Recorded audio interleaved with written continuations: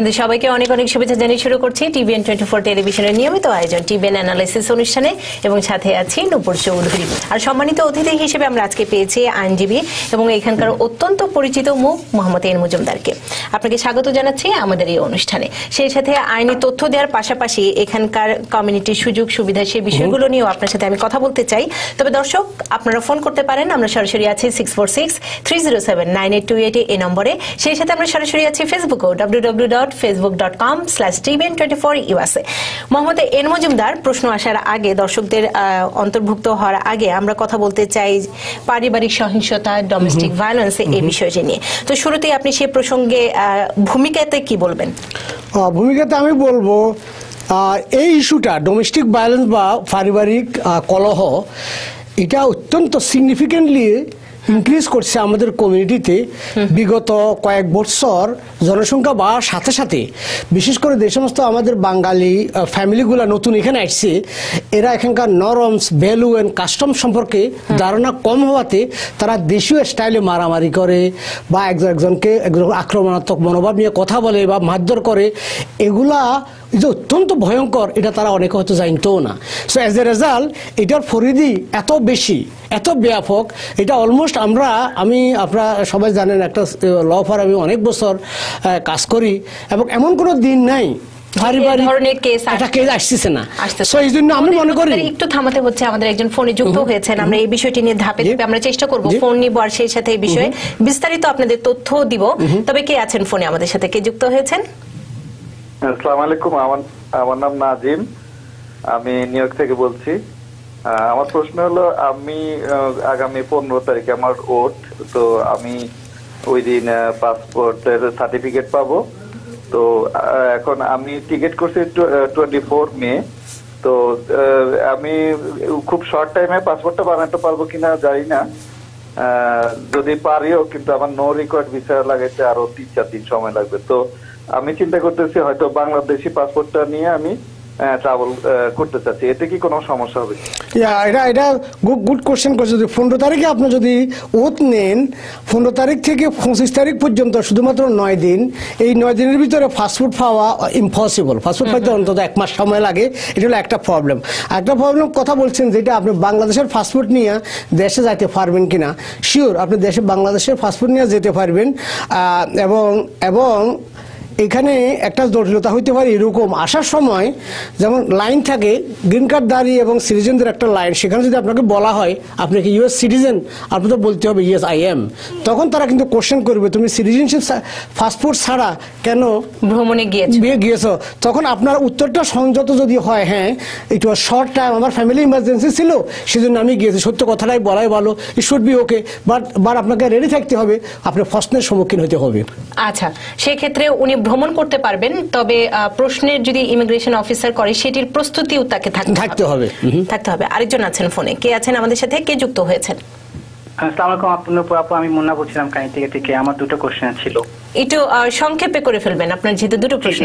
জি, আমার প্রথম কোশ্চেন হচ্ছে যে আম, আমি আসলে একটা ক্যাব কোম্পানিতে ছিলাম। কোম্পানি ভুলের কারণে আমার ট্যাক্স ওয়ান ট্যাক্স ফাইল আমার আপ হয়েছে। তো আমি আসলে ট্রাভেল করতে যাচ্ছি। এই ক্ষেত্রে কি আমার ইমিগ্রেশনে কোনো প্রবলেম হবে. আর যদি সম্ভব হয় কোনো কারণে কো- কোনো সিপিও থেকে আর আপনারা প্রোগ্রামে যদি আনতে পারতেন তাহলে আমাদের সিপিএ আসবে। আপনাদের জন্য সিপিএ এর অনেক প্রশ্ন আসে। কারণে সিপিএ আসবেন আপনাদের প্রশ্নের উত্তরগুলো দেওয়ার জন্য। তবে অভিভাষণ বাট এখানে আপনার কোশ্চেনটা সিপি এর সাথে কোনো সম্পর্ক নাই বিকজ আপনি যদি ট্যাক্স এক বছর ফাইল নাও করেন এই জন্য ইমিগ্রেশন আপনাকে আটক করবে না বা কোশ্চেন জিজ্ঞাসাবাদ করবে না ট্যাক্স ফাইল লেটও করেন সেটা সে টোটালি সিভিল লাইবিলিটি এটার জন্য আপনাকে কোনো দায়ী করবে না আনলেস আপনি কোনো ফ্রডের সাথে জড়িত না হলে মেয়ার আপনি যে ট্যাক্স ফাইল করেন নাই বা ডাব্লিউ টুটা ফান্ড নাই ডাব্লিউ টু হয়তো ভুল হয়েছে এটার জন্য আপনাকে কোনো কোনো কোনো সম্ভাবনাই নাই যে আপনাকে কেউ জিজ্ঞাসাবাদ করবে। মোহাম্মদ এন মজুমদার তার প্রশ্নের সূত্র ধরে আপনার কাছে আমি জানতে চাই যে ট্যাক্স ফাইল এটি কি ভ্রমণ কিংবা অভিবাসন এটির সাথে কোনো সম্পর্ক যুক্ত নয় ডিফেন্ড প্রত্যেকটা আচ্ছা। এটা ডিফেন্ড করে এই জন্য যেমন কেউ ট্যাক্স ফ্রড যদি করে থাকে সেটা ফেডারেল সেটি- ক্রাইম হিসেবে গণ্য হয়ে যায় যদি কোনো সিস্টেমের স্বভাব হয় জাস্ট টোটাল ডিফারেন্ট বাট কেউ যদি ট্যাক্স ফাইল করতে ব্যর্থ হয় কয়েক বছর ট্যাক্স দেয় নাই বা ট্যাক্সের টাকা বাকি আছে এটার জন্য তাকে এখানে আটকে রাখবে না বা জিজ্ঞাসাবাদও করবে না। কারণ এটা সিভিল লাইবিলিটি তার পে করতে হবে। করতে হবে। আরেকজন আছেন ফোনে কে আছেন আমাদের সাথে? কে যুক্ত হয়েছেন?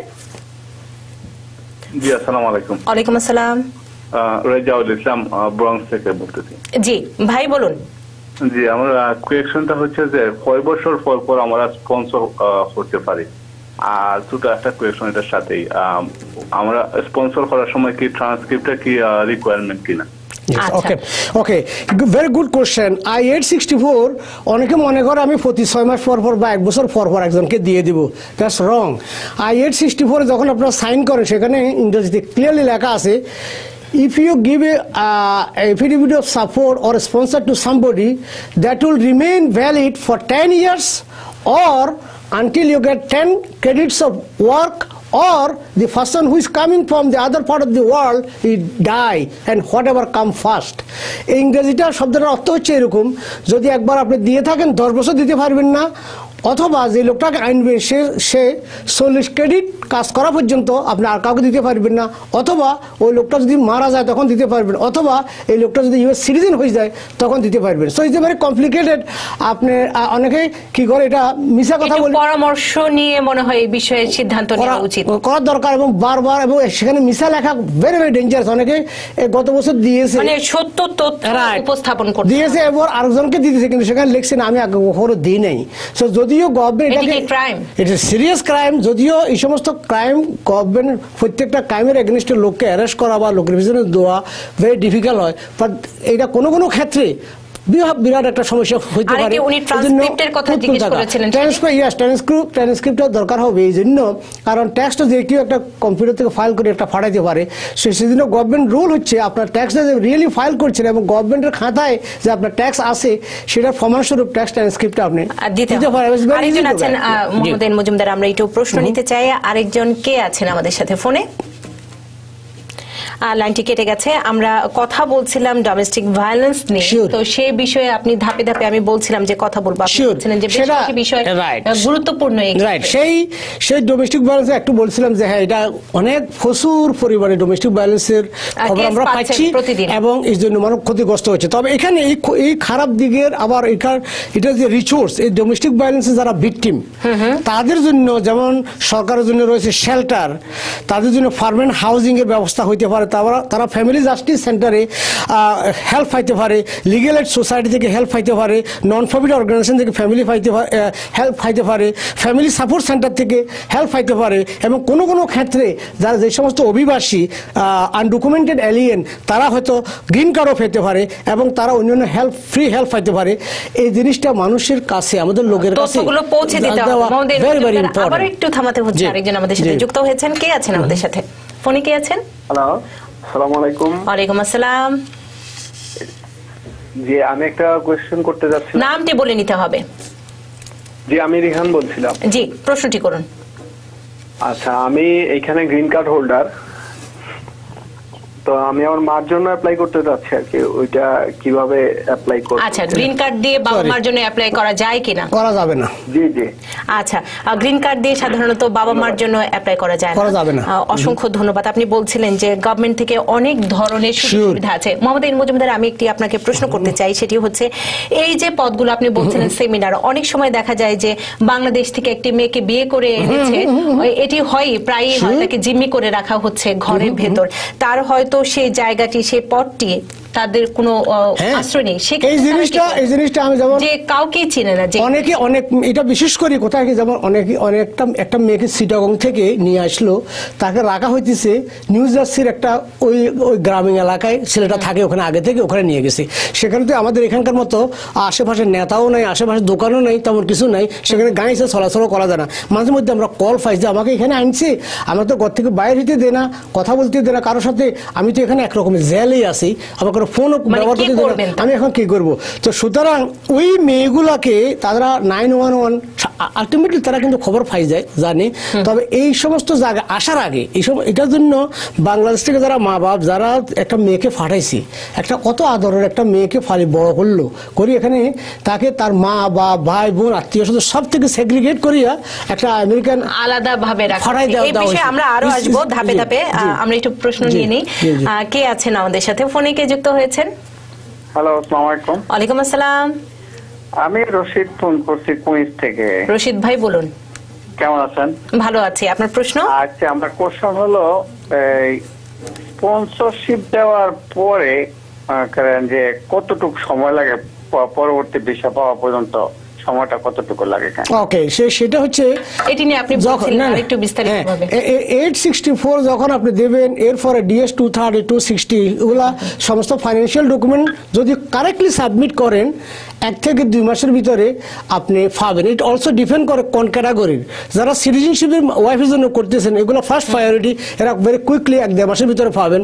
আর যেগুলো গ্রিন কার্ডদারিরা অ্যাপ্লাই করছে সেটা কোটার জন্য ওয়েট করতে হয়। তারা হয়তো একটু লম্বা টাইম ভাই বোনের জন্য এটা লম্বা টাইম লাগবে অলসো আরও রিমেম্বার করতে হবে ইলেভেন ফেজ লম্বায় ফর্মটা অনেকে এটা বলে যে, ঠিক আছে, আমি তো সব কিছু জানি। সে টাইপ করে সব কিছু দিল, সেখানে যেখানে একটা বক্সে নো মারার কথা, সেখানে ইয়েস বক্স করা হয়েছে। যখন ইয়েস নো এর জায়গায় ইয়েস বক্স আপনি ক্লিক করলেন then it trigger another question ওই যে এই যে ভুল এই ভুলের জন্য হয়তো এটা আরও ছ মাসে ভিজে যেতে পারে। সেই জন্য কাগজপত্র যদি ঠিকভাবে না করেন one of the delay are also depend কর কোন ক্যাটাগরির বিষয়ে আপনি প্রসেস করছেন। আরেকটি প্রশ্ন আমরা নিয়ে। মোহাম্মদ এন মজুমদার কে আছেন আমাদের সাথে? হ্যালো সালাম আলাইকুম। ওয়ালাইকুম আসসালাম। আমার নাম রাজীব। আমার একটি প্রশ্ন ছিল, আমি ইউএস পাসপোর্ট সবচেয়ে কম সময়ে কত সময় করতে পারি? সবচেয়ে কম সময়। ওকে ইউএস পাসপোর্ট করা সেটা সেটা হলো আপনার পোস্ট অফিসের বিভিন্ন বিভিন্ন রকমের সার্ভিস আছে।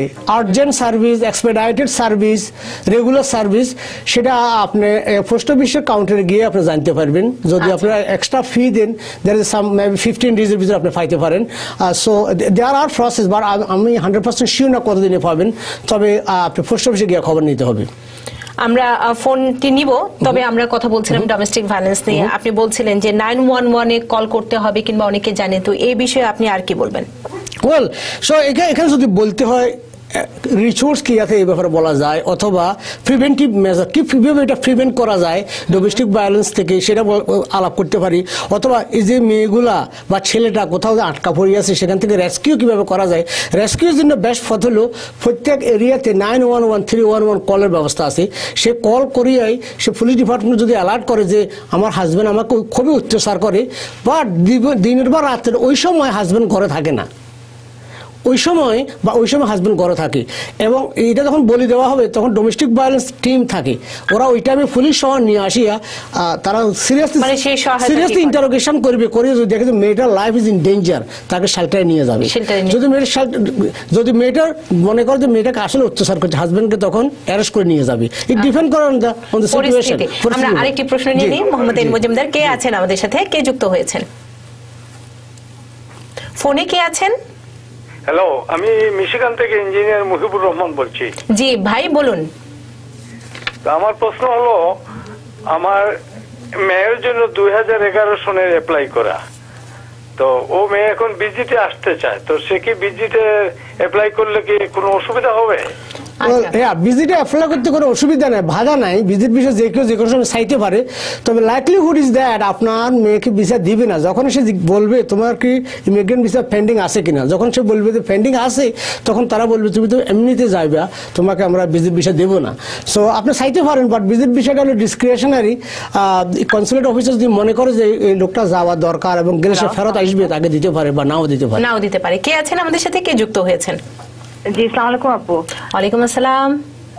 জি আমি জান্নাত কুইন্স থেকে বলতেছি। আচ্ছা আমার কোয়েশ্চেন ছিল যদি সিটিজেনশিপ বাবার আহ, বাচ্চাদের বাচ্চা বয়স টোয়েন্টি একুশের বেশি হয় তাইলে কতদিন লাগবে ওইটা প্রসেসিং হইতে? আচ্ছা। বাবা সিটিজেন বাবা সিটিজেন যদি টোয়েন্টি ওয়ানের উপরে right. চাইল্ডের কতদিন লাগবে? ফাইভ টু সিক্স ইয়ার এখন। ফাইভ টু সিক্স ইয়ার অসংখ্য আচ্ছা, আমার একটা কোয়েশ্চেন ছিল। জি। যদি টু থাউজেন্ড টুয়েলভে অ্যাপ্লাই হয়েছে মানে ওনাদের তাইলে আর কতদিন লাগবে? এখন two thousand eighteen six year চলে হইছে- মানে চলে গেছে।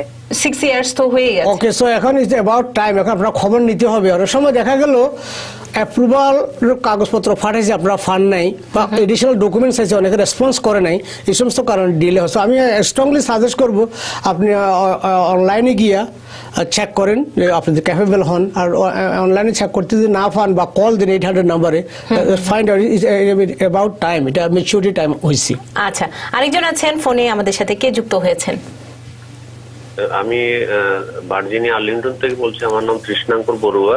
জি বলুন। Uh, এখন কি ইউএস সিটিজেনশিপ আপনার ভাই বোনের জন্য কি আনা যায় অ্যাপ্লাই করা যায়? অ্যাপ্লাই করা যায়। শিওর সে সে প্রক্রিয়া আগে যেমন ছিল এখন সেম কোনো কিছু চেঞ্জ হয় নাই। এগুলা রাজনৈতিক কথাবার্তা চলতেছে এটা এটা এনি টাইম বন্ধ হয়ে যাবে। তবে আমি স্ট্রংলি এনকারেজ করি যারা এখন ইউএস সিটিজেন তারা মা বাপের জন্য ভাই বোনের জন্য অ্যাপ্লিকেশন করা যদি প্রয়োজন মনে করেন ইমিডিয়েটলি করা উচিত। করা যে উচিত। কোনো সময় এটা বাইফাইটিজম নেগোসিয়েশনে এটা হয়তো বন্ধ হইতে পারে। বন্ধ হয়ে যেতে পারে। মোহাম্মদ এন মজুমদার আমরা কথা বলছিলাম ডোমেস্টিক ভায়োলেন্স নিয়ে আরেকটি বিষয় আপনার কাছে আমি জানতে চাই যে আপনি বলছিলেন যে থ্রি ওয়ান ওয়ান কিংবা নাইন ওয়ান ওয়ান হাজবেন্ডকে অ্যারেস্ট করে নিয়ে যাবে। আমাদের যে বাঙালি সংস্কৃতি আমি বলব যে আমরা যে মূল্যবোধে সাধারণত বড় হয়ে এসেছি যে মেয়েটিকে বাংলাদেশ থেকে নিয়ে আসা হয় সে সাধারণত সবসময় চেষ্টা করে সংসারটিকে টিকিয়ে রাখতে। আমি যদি নাইন ওয়ান ওয়ানে কল করে আমার হাজবেন্ডকে পুলিশ ধরিয়েই দেই কিংবা আমি সংসার তো অনেক মেয়ে তো চায় যে আমি ডোমেস্টিক ভায়োলেন্স এড়িয়ে আমি সংসারটি টিকিয়ে রাখব। সেক্ষেত্রে আপনাদের কি পরামর্শ থাকবে? This is a huge conflict. Between the local law and local norms. আমাদের মুসলমানদের একটা নরমস অ্যান্ড ভ্যালিউ আছে যে আমি হাজব্যান্ডকে তুলসী পাতার মতো শ্রদ্ধা করব রেসপেক্ট করব মাথায় তুলে রাখব। But at the same time life liberty is is different country অনেক লোককে এখন সেবা করতে করতে এমন পর্যায়ে যায় তাকে সেবা দাসী করি বানানো হয়। এবং অনেক কথা শুধু মেয়ে না অনেক ক্ষেত্রে আমি অনেক এক্সাম্পল জানি। অনেক ছেলেকে এভাবে আনা হয়। আনার পরে তারা মেয়ের পক্ষে সবাই তাকে এমনভাবে রাখে যে সে ইনকাম যা করবে তার তার কাছে জমা রাখতে হবে কোথায় গেলে বলতে হবে এটাকে বলা এটাকে বলা আপনাকে আপনার লিবার্টি কি? মানুষের শুনেন কোটি কোটি টাকা ধন সম্পদ স- সব কিছু যদি আপনাকে আনি দেওয়া হয় যে এখানে তোমার খাওয়া থেকে আরম্ভ করি সবকিছু তোমার আছে বাট তোমার স্বাধীনতা নাই তুমি বাইরে যেতে পারবে না। Still you're in jail so এই যে লিবার্টিকে যখন হস্তক্ষেপ করা হয় সে ছেলে হোক আর মেয়ে হোক তখন এটা একদিন দুই দিন তিন দিন কানে শুনে ও দেখে যে অমুক তো এভাবে চলতেছে আমি এভাবে চলতে পারতেছি না। এই যে এই যে ক্ষোভের ক্ষোভের গুঞ্জন দানাবাজি উঠে ভিতরে ভিতরে এটা বিস্ফোরিত হয় এক পর্যায়ে। সে সুতরাং আমরা একটা ভিন্ন দেশে আসার পরে আমাদের উচিত হবে জীবন যেখানে যেমন। এই যে একটা কথা আছে আমি এই বিষয়ে আসব। আমার অনেকগুলো প্রশ্ন আপনার কাছে করার ইচ্ছে হয়েছে এবং জানতে ইচ্ছে করছে দর্শকদের জন্য। তবে ফোনে আছেন। কে আছেন আমাদের সাথে? ফোনে? ফোনে কে আছেন আমাদের সাথে? হ্যালো আসসালামু আলাইকুম। ওয়ালাইকুম আসসালাম আপা। একটু জোরে বলতে হবে নামটি বলে নিতে হবে তারপর প্রশ্নটি করে ফেলতে হবে। দিলওয়ারা বেগম বলছি আমি থেকে। জি আপা প্রশ্ন? প্রশ্ন করতে চাই আমার হাজবেন্ড সিটিজেন হয়ে আমার মেয়ের জন্য বিবাহিত মেয়ের জন্য অ্যাপ্লিকেশন করছে টু থাউজেন্ড ইলেভেন জুনে। এখন কতদিন লাগে বাপের কেসে আসতে? মানে আর কতদিন লাগবে? আচ্ছা জি। সে এখন যে কত সমস্যা হলো কি, উনি হয়তো যে আমাদেরকে যে কোশ্চেন করছেন তার ফাইলও দেখেন নাই অ্যাপ্রুভ কবে হয়েছে কি হয় হয়তো এটা অ্যাপ্রুভে হয় নাই।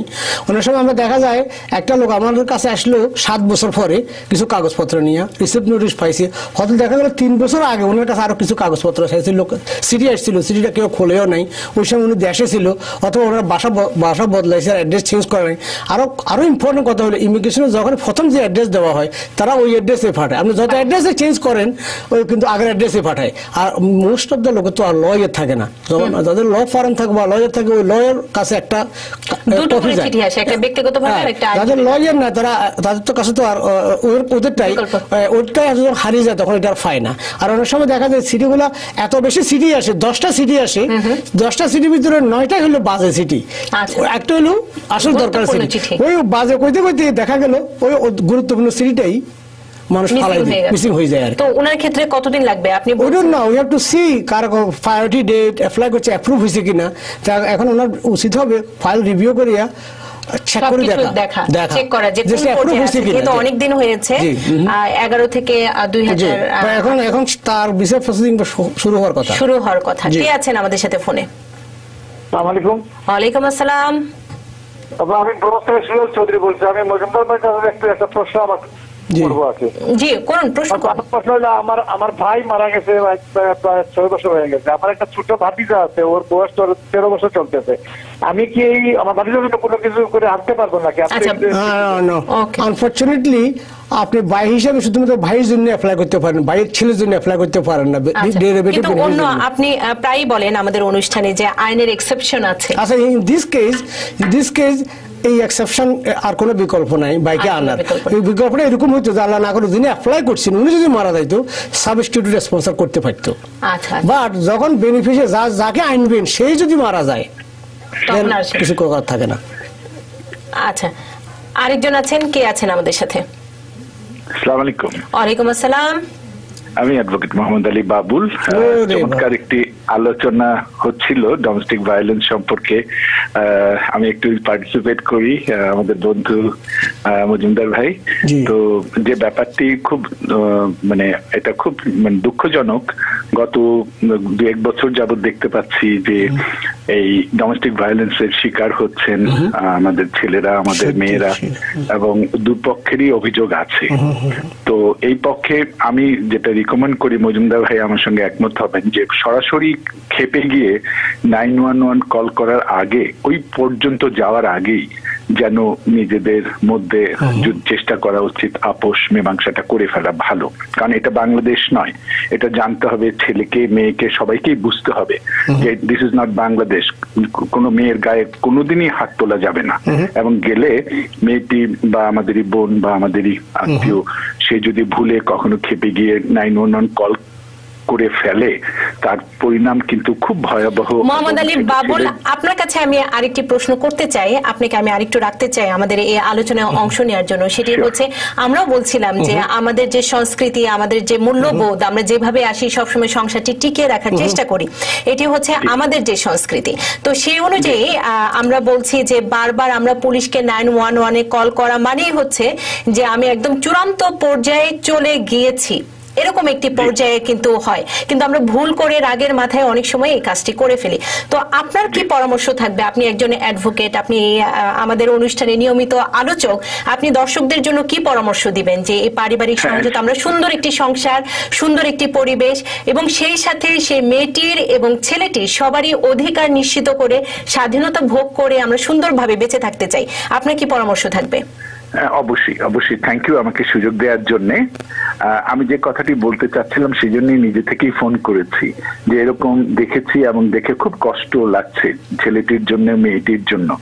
এবং আমার যেটা রিকমেন্ডেশন হলো চূড়ান্ত পর্যায়ে যাওয়ার আগে আমরা চেষ্টা করা উচিত ছেলে পক্ষ বা মেয়ে পক্ষ, তাদের যে বন্ধু বান্ধব তাদের উপরও দায়িত্ব আছে যে এই সংসারটি যাতে ভেঙে না যায়, এটা মিনিমাইজ করে ফেলার জন্য চেষ্টা করা। একটু আগে মজুমদার ভাই বললেন যে এমনও ছেলে দেখেছে তাকে বাংলাদেশ থেকে বিয়ে করিয়ে আনার পরে এখানে স্লেবের মতো আচরণ করা হয়। সে বেতন পেয়ে সাথে সাথে ওই সপ্তাহের শেষে বেতনটি এনে স্ত্রীর হাতে দিতে হয়। এরকম নিয়ম করে দেয়া হয়েছে। তার মানে স্লেভের মতো আচরণ করা হয়। এটাও যেমন হয় আবার মেয়েকে বিয়ে করে এনে তাকেও স্লেভের মতো তার সঙ্গে তার গায়ে হাত তোলা হয় তাকে অশোভন ভাষা ব্যবহার করা হয়। আমাদের দুপক্ষকেই মনে রাখতে হবে এটা বাংলাদেশের মানে মতো নয়। আর প্রত্যেকেরই সমান অধিকার ধর্মীয় দিক থেকে নৈতিকতার দিক থেকে চিন্তা করলে। এটা অবশ্যই দুই পক্ষে মনে রাখতে হবে। এটা মধুর একটা সম্পর্ক একটা বন্ধুত্বপূর্ণ সম্পর্ক। মাঝে মধ্যে মন খারাপ করার মতো একটু একটু হতেই পারে। সব সম্পর্কের মধ্যেই এটা হয়। এইটা মনে রেখে চূড়ান্ত পর্যায়ে যাওয়ার আগে যদি এরকম কোনো কিছু চেষ্টা করে যে না হচ্ছে না কোনোভাবে তাহলে নিজেদের মধ্যে কথাবার্তা বলে গুড বাই মানে শান্তিপূর্ণ ভাবে আপনি বলছেন যে থাকাটাও যেমন শান্তিপূর্ণ হবে যদি এরকম পর্যায়ে চলে আসে যে থাকার মতো অবস্থা নয় সেটিও যেন শান্তিপূর্ণ ভাবে শ্রদ্ধার সাথে সম্মানের সাথে হয় অবশ্যই মোহাম্মদ আলী বাবুল আপনার পরামর্শ হ্যাঁ, জি আরেক- আরেকটু আরেকটু জি আরেক মিনিট। এতে হয় কি স্বামী স্ত্রীর সম্পর্কটার জীবনটা দুর্বিষহ হয় বটে কিন্তু বাচ্চাগুলো সাফার কম অনেক দেখেছি। মানে নিজেদের ভুলগুলো জি। এক্স্যাক্টলি বাবা মায়ের কারণে অথচ কিন্তু বাবা মা দুজনকেই বাচ্চাগুলোকে ভালোবাসে। অথচ এর পরিণতিটা বাচ্চাদের উপর দিয়ে যায় বেশি।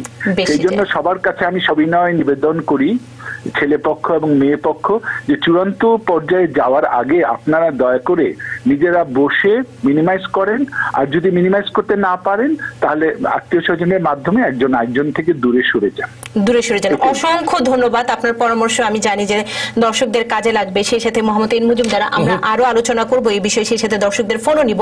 এবং মোহাম্মদ আলী বাবুলকে অসংখ্য ধন্যবাদ জানাচ্ছি। তবে আমাদের সময় হয়েছে ছোট্ট একটি বিরতি নিবার। বিরতির পর এসে আমরা এই বিষয়ে আরও বিস্তারিত আলোচনা করব। আইন কি বলে আইনের অপব্যবহার যেন না হয় সেই বিষয়টিও আমরা খেয়াল করব। এবং সেই সাথে আপনাদের প্রশ্নগুলো নেওয়ার চেষ্টা করব। সাথেই থাকুন।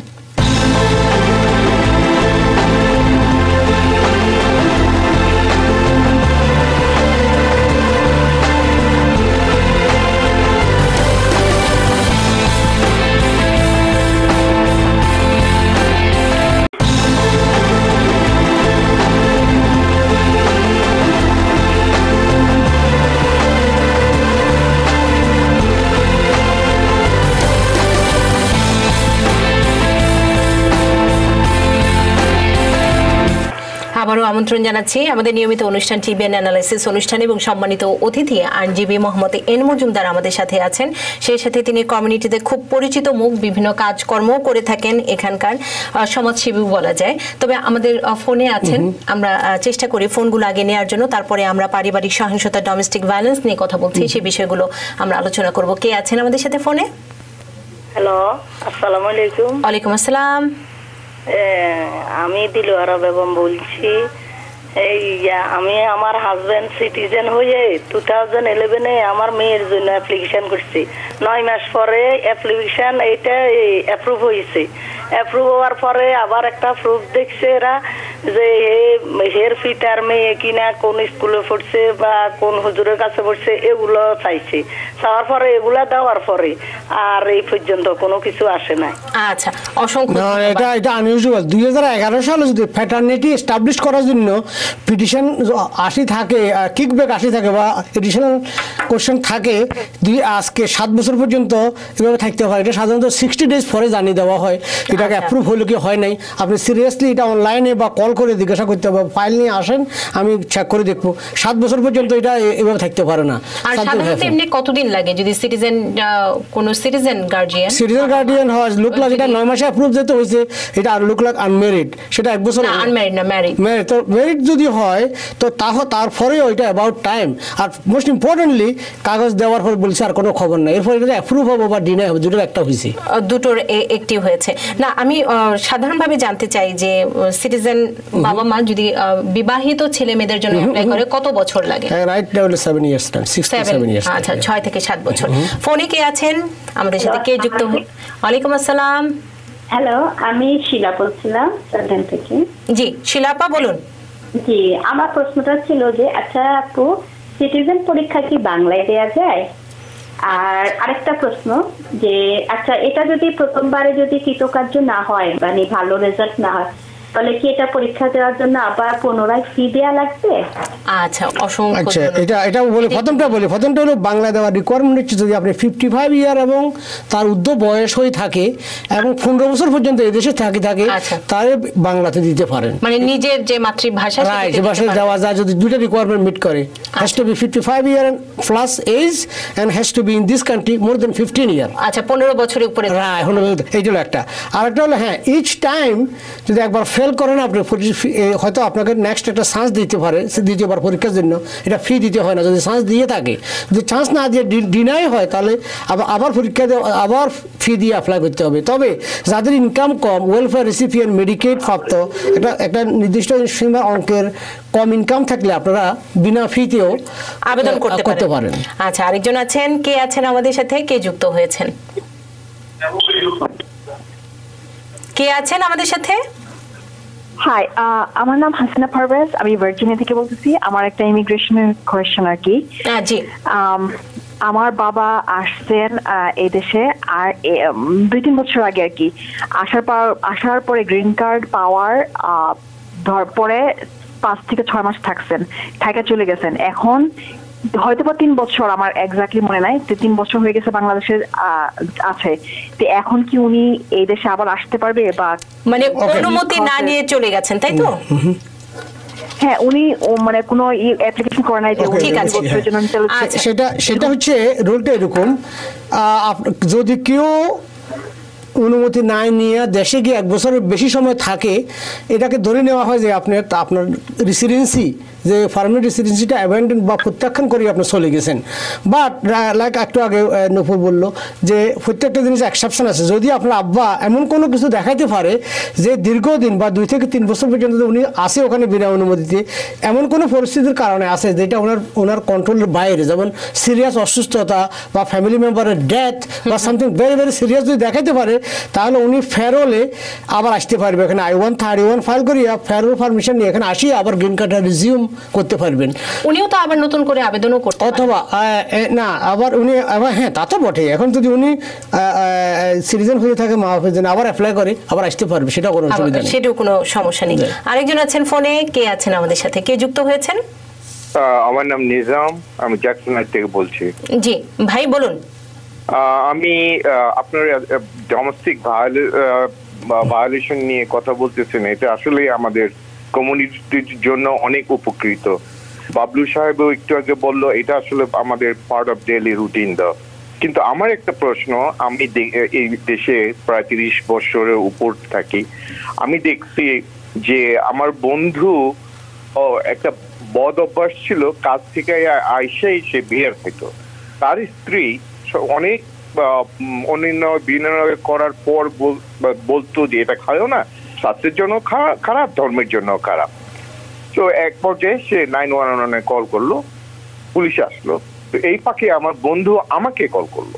তখন আমি গেলাম যে ওদা গেলে আর ইউ আমাকে এইভাবে ট্রিট করতেছে। আচ্ছা আমি- স্ট্রাইম যখন মেয়েটা, মহিলাটা বা আমার বন্ধুর স্ত্রী তাকে বলতে চাইলো যে যে কি হয়েছে তখন ল এনফোর্সমেন্টের লোকেরা বলতেছিল I know how you your woman আচ্ছা। হাতে হ্যান্ডকাপ পরে নিয়ে গেল।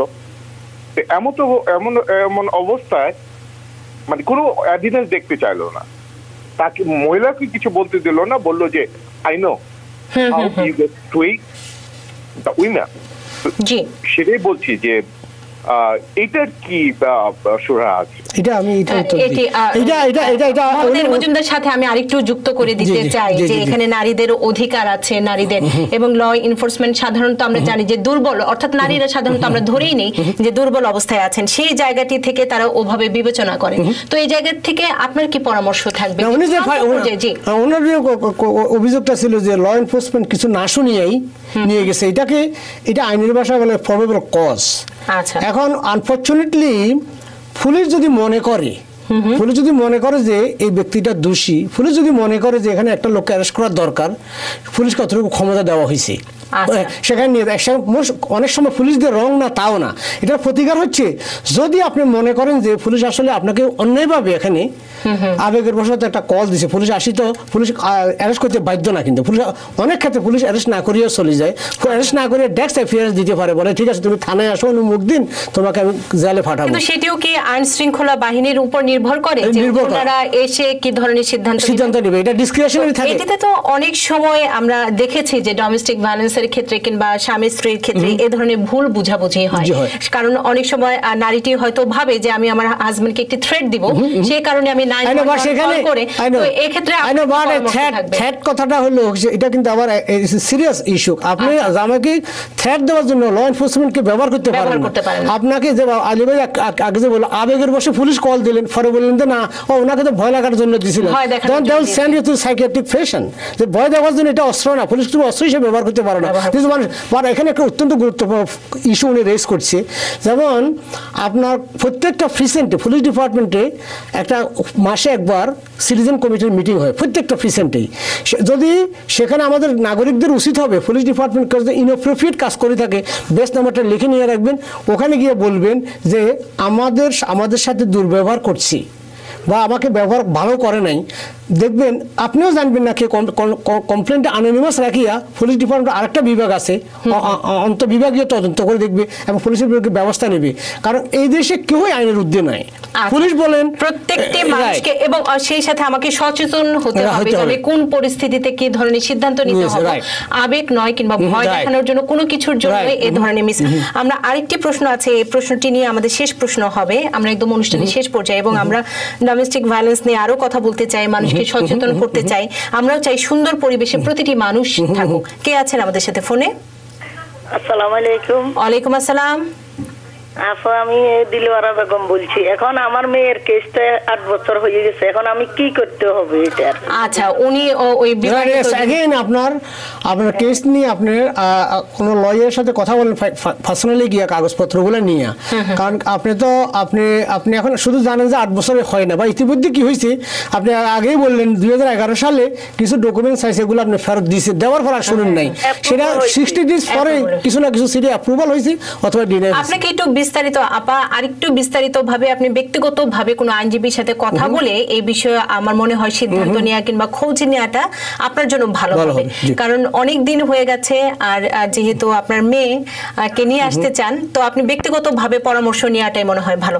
মোহাম্মদ এর মজুমদার আমরা একদম অনুষ্ঠানের শেষ পর্যায়ে চলে এসেছি। আমরা কথা বলছিলাম ডোমেস্টিক ভায়োলেন্স নিয়ে এবং এখানে অনেকগুলো প্রশ্ন আসলে চলে এসেছে যে আপনি শুরুতে বলছিলেন যে অনেক ধরনের সুযোগ সুবিধা যেমন আছে যারা ভিকটিম যারা ভুক্তভোগী তাদের জন্য ঠিক তেমনি মোহাম্মদ বাবুলের কথার সূত্র ধরে আপনার কাছে আমি বলতে চাই জানতে চাই এই বিষয়টি যে পরবর্তী প্রজন্ম সন্তানেরা বেশি ভুক্তভোগী হয় এক্ষেত্রে বাবা মার এই ধরনের পরিস্থিতিতে। তো আপনার কি পরামর্শ থাকবে? নাইন ওয়ান ওয়ান ঠিক আছে আমি আমার হেল্পের জন্য আমি আইন শৃঙ্খলা বাহিনীকে কিন্তু আপনি ধাপে ধাপে যদি বলেন যে প্রাথমিক পর্যায়ে কি করণীয় যে এই ক্ষেত্রে ওকে ফার্স্ট অফ অল এটা it is a problem no matter যেভাবে চেষ্টা করে অনেক সময় দেখা যায় যত চেষ্টার পরেও এটার সম্পর্ক থাকার মতো না। বিশেষভাবে দেখা যায় অনেক সময় ছেলে বা মেয়ে এক পক্ষ আরেকটা আরেকটা রিলেশনশিপে ইনভলভ হয়েছে বা নৈতিকত অনেকগুলো ইস্যু আছে সেক্ষেত্রে কোনো অবস্থাতেই আমি অলওয়েজ লোক আসার পরে বলে দেবো দেখে এটা সেটেল করা যায় কি না কারণ সেটেল করা হলো বেস্ট থিং সেটেল করা এমন সিচুয়েশন হয় সেটেল করার মতো সময়ও থাকে না এবং এমন একটা পরিস্থিতি সৃষ্টি হয় অন দ্য স্পট কিছু ব্যবস্থা নিতেও হয়। মানে এমন পরিস্থিতি হয়েছে মেয়েটাকে বাইর করে দেওয়া হয়েছে ঘর থেকে প্রচণ্ড ঠান্ডায়।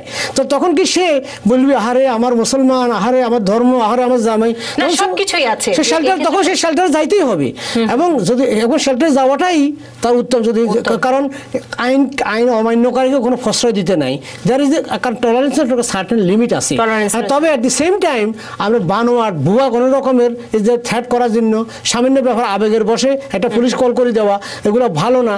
কারণ মানে সবকিছু আমাকে চিন্তা খেয়াল রাখতে হবে যে আমি চূড়ান্ত পর্যায়ে আমার সম্পর্কটি গিয়েছে কিনা কিংবা আমার এই মুহূর্তে নিরাপত্তার জন্য আশ্রয়টি দরকার কিনা আমি সরকারি সহায়তা নিচ্ছি। আরও সবচেয়ে ইম্পর্টেন্ট মনে রাখতে হবে এখানকার আইন কানুন অত্যন্ত শক্ত অত্যন্ত জটিল এবং অনেক সময় লাগে এবং এই সময়ক্ষেপণ হয়। হয়। সেগুলো বিবেচনা করেই আপনাকে যাইতে হবে। কোর্টে যাবেন কিনা? নিতে হবে। আমরা কোর্টে কেস করার আগে অলওয়েজ সবাইকে বলি আপনি মামলা সমস্যা মানে সমস্যা সমাধান না সমস্যা সৃষ্টি করে বেশি হয়।